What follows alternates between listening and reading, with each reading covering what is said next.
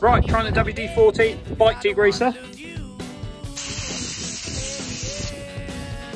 Not bad.